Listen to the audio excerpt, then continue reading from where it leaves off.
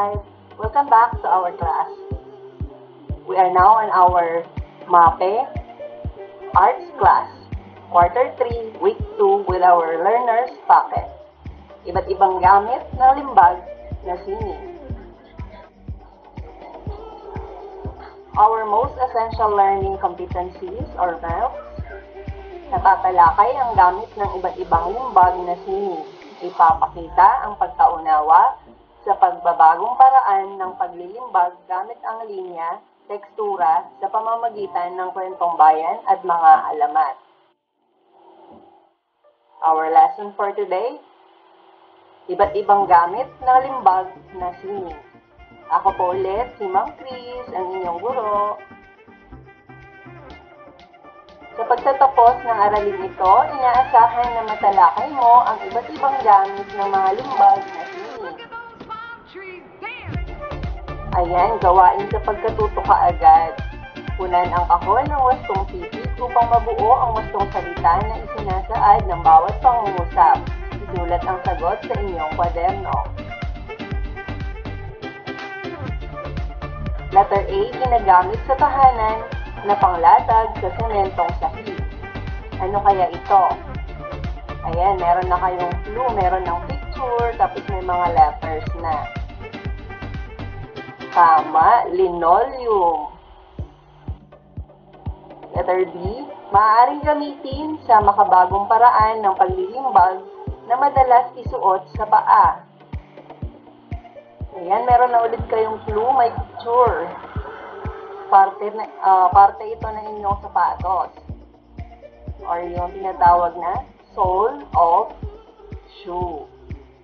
S-O-L-E, off, and then S-H-O-E. O, konti na lang yung letters na idadagdag ninyo.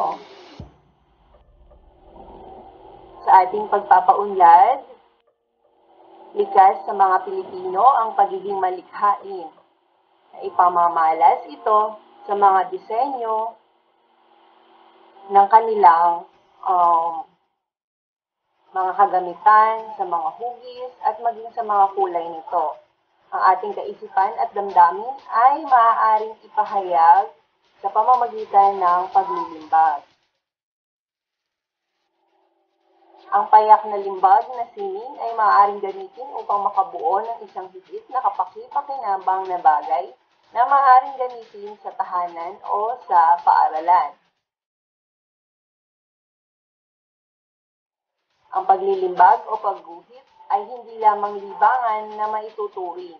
Ito ay maaari ring pagkakitaan, lalo na kung ito ay nagbibigay atraksyon sa paningin ng makakakita kapag maganda ang ginagawa ng isang um, uh, artist, tawag sa mga gumagawa ng mga ganyang bagay, ay pwede niyang itong ibenta. Kaya pagkakakitaan niya ito.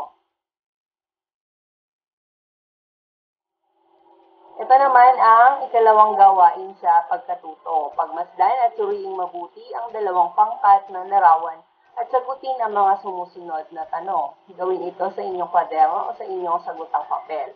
Ano ang napansin mo sa dalawang pangkat ng larawan? Ano ang kanilang pagkakaiba? Mayroon din ba silang pagkakatulad? Ito ang mga larawan. Ayan. Pagkumparahin ang dalawa. Meron ba silang pagkakaiba? Meron ba silang pagkakatulad? Ayan. Marahil ang kanilang pagkakatulad, sila ay ginamitan ng pintura, pininturahan, kaya meron silang mga kulay. Pero ano kaya yung mga ginamit? Magkaparehas din ba?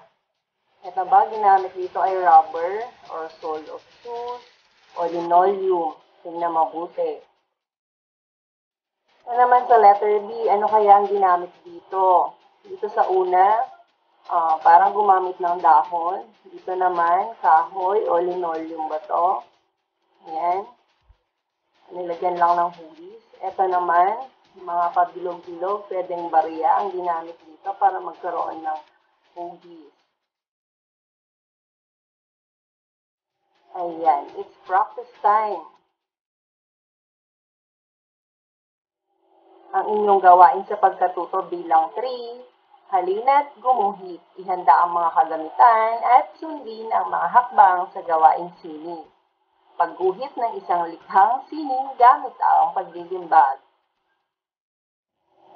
Halina't gumuhit, ito ang mga kagamitan ninyo, mga bata. Mga patapong bagay na pwede pang gamitin. Oslo paper, watercolor, brush, ayan, at ihanda rin ang place kung saan kayo gagawa para hindi makalat. Ito ang mga hakbang sa paggawa. Ihanda ang mga kagamitan na gagamitin sa pagguhit, yung mga sinabi kanina. Gumuhit o maglimbag ng mga larawan na maaaring mapakinabangan o makatutulong upang maipakita ang pagiging malikhain. Lagyan ng kulay upang lalong maging kaakit-akit sa paningin. Ipaskil ang inyong ginawang likhang sining. Maaari rin ninyong isend ang picture sa inyong teacher, sa inyong GC. Ito naman ang gawain sa pagkatuto bilang 4. Batay sa iyong natapos na gawain, suriin mo ang iyong sarili sa pamamagitan ng pagsagot sa rubrics sa ibaba. Gawin ito sa inyong kwaderno. Ang, ang rubrics na sinasabi dito ay nasa inyong learner's packet or sa list. Ngayon, nandito na tayo sa ating assess. Ito ang inyong gawain sa pagkatuto bilang 5. Magsaliksik tayo. Magsagawa ng isang pananaliksik sa isang sikat na pintor ng ating bansa gamit ang internet o libro. Sumulat ng isang talata kung paano niya ginamit ang likhang sining upang mapaunlad ang sarili at ang kanyang buhay. Lagyan ito ng pamagat. Ito ang reflection natin sa inyong kwaderno, magsulat ng nararamdaman o realisasyon gamit ang mga sumusunod na prompt. Ano ang naunawaan mo sa ating lesson? Ano ang inyong nababatid o nalalaman? Ano yung kailangan? Kailangan kong higit pang matutuhan ang tungkol sa ano? Okay, isulat niyo lang yan sa inyong notebook at checkan ang picture niyo. Thank you! Thank you so much sa pakikinig. Sana marami kayong natutunan kay Ma'am Chris. Don't forget to like, comment, share, and subscribe. Huwag rin kalimutan i-click yung bell para ma-notify kayo kapag merong bagong upload si ma'am.